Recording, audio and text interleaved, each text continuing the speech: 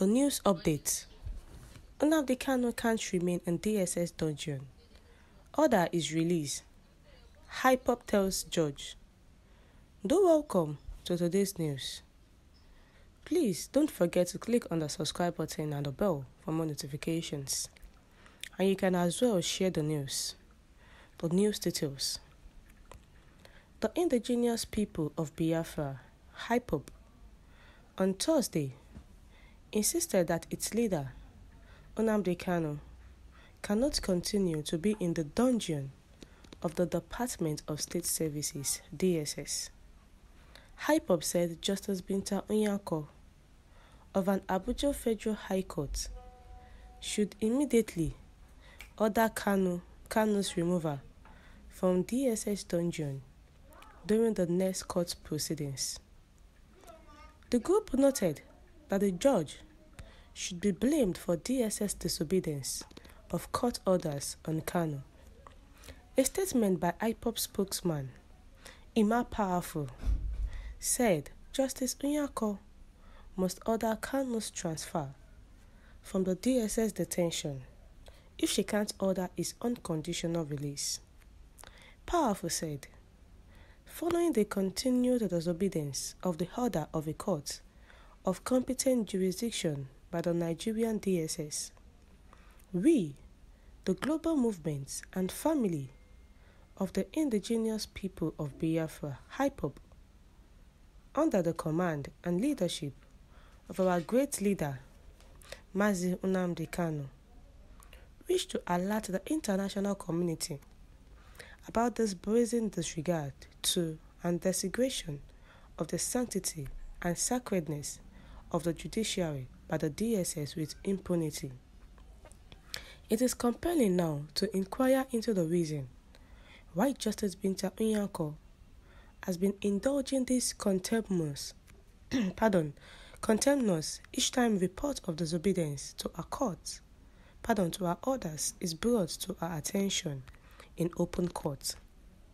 It therefore goes to reason that the only explanation apposite in the circumstance of those grave infractions on the orders of the court is the simple truth that Justice Binta Nyako is acting the scripts of the federal government and the state security services.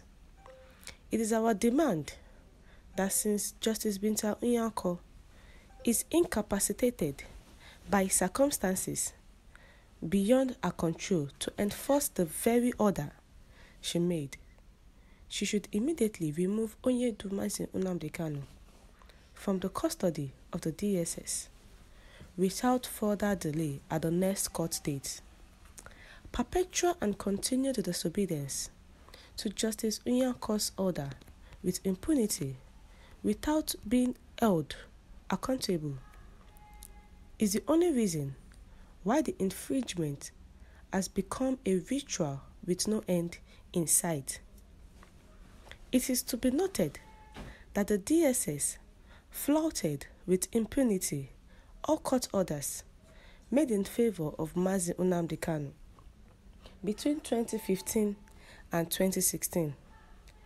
Even when a federal high court ordered for his unconditional release, still they flouted it.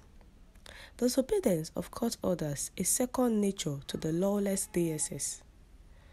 Justice Binta Nyako is fully aware of the antecedents of the DSS, but still chose to remand and keep Mazi Nnamdi Kanu in their solitary confinement, where her orders will be treated with levity and disdain, instead of remanding him at Kuje Correctional Center, Abuja, a statutory sanctioned place for the custody of people waiting for or facing trial. Justice Binta Nyako is to be blamed for this continued floating of court orders by the DSS. Her leader, Mazi Nnamdi Kanu, has not been convicted of any offense in Nigeria or elsewhere in the world. he still enjoys his full constitutional rights as provided under the Constitution. Justice Mr. Nyako must ensure that our leader, Mazi Nnamdi Kanu, does not remain in the custody of the DSS if she cannot release him unconditionally in the next court sitting date of April 8, 2022. The news is all about Mazi Nnamdi Kanu, the hip-hop leader who has been in the DSS dungeon since 2021. He was extradited from Kenya to Nigeria. But the DSS, ever since the court has given them orders concerning Mazi Nnamdi Kanu, the DSS have not been obeying the orders. And the high pop are telling the judge that since the DSS cannot obey the orders of the court, then the court should do something in making sure that the DSS faces a trial or is being taken to court. But it is as if Justice Binta Nyako is playing according to the script that was given to her by her slave masters uh, that are in Abuja. The IPOB leader who via his lawyers had complained to the court, to Justice Binta Nyako, that he has not been allowed to change his clothes, neither has he been allowed to practice his religion, nor his glasses has been was and pardon and his glasses has been taken away from him. The court gave the orders to the DSS that the IPOB leader should change his clothes practice his religion should not be put in a solitary confinement. The people in the prison should also be able to rapport with him.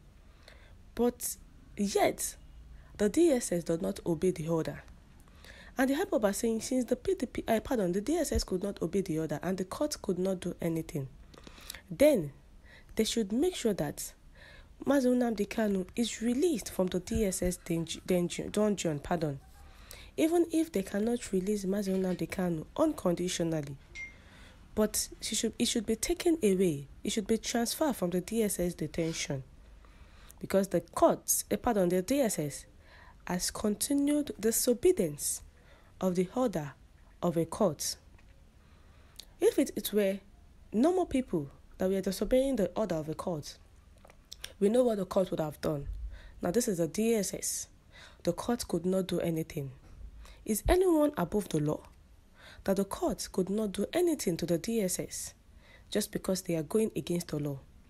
What's your take concerning Justice Binta Nyako and the DSS? Are they working hand in hand or they are playing games? Kindly share your thoughts. Thank you.